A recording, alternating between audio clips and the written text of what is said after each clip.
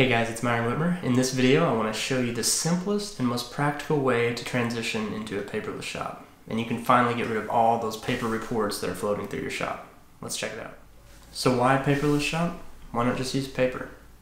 With the way that manufacturing software has gotten so good over the last several years, you know, you can basically produce any report you want.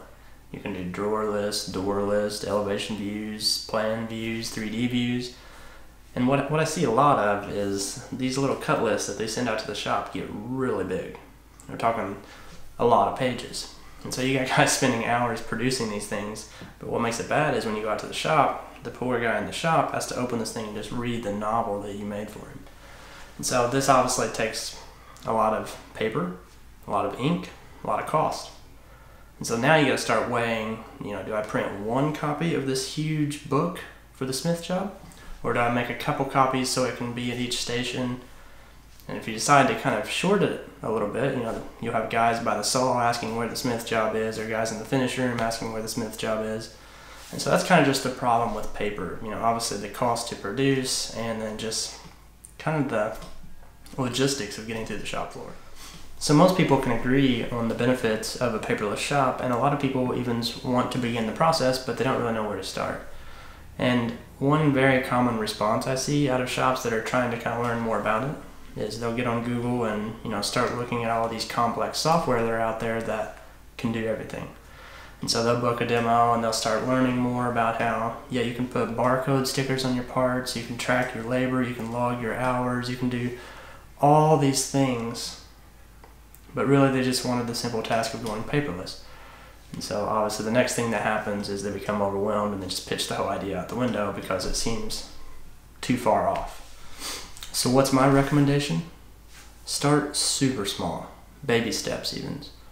Because what happens is when you throw out thousands of dollars in a short amount of time and try to just put this whole new system into place, your employees are going to get frustrated. They're not going to know how to run the system. You're going to get frustrated because they're not doing it. Man, it's just going to flop. And so when we start small, we put ourselves and our employees in a much better position to start evolving with the processes that we're putting in place.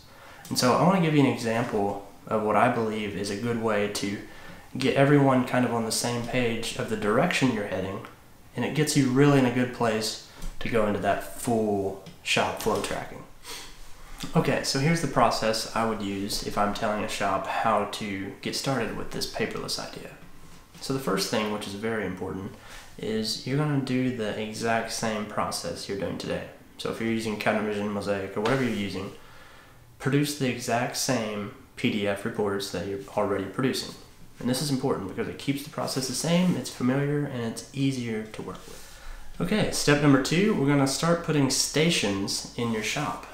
And a station is basically going to be a screen that your employees can look at and see the PDF reports that you created earlier.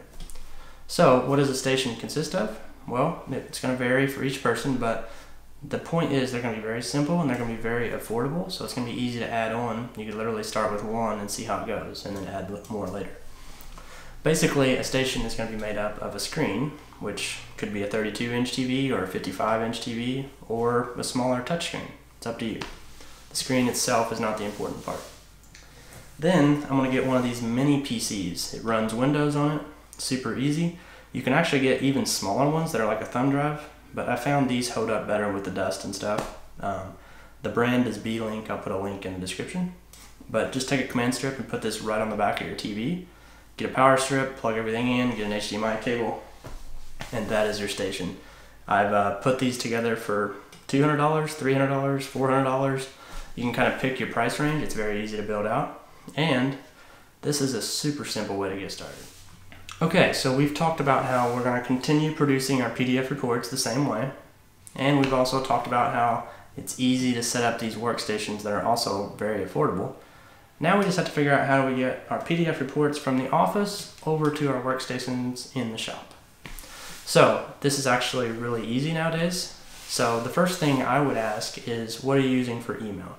Because a lot of people are already paying for Office 365 or Google Workspace.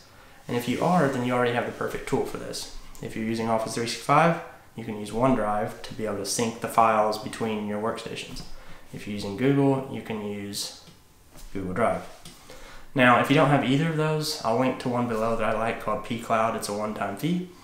But this works just like Windows file structure. You can create job folders like the Smith job, the Johnson job, drop your reports in, and it synchronizes to your shop floor. Okay, so that wraps up my simple and practical way to get started transitioning into a paperless shop. I encourage you guys to just try it, even if it's just one workstation. See how your employees like it, see how the guys in the office like it, see how your printer likes it. But yeah, just take baby steps. You don't have to do it all at once. Thanks for watching, guys. Leave a comment below what you think.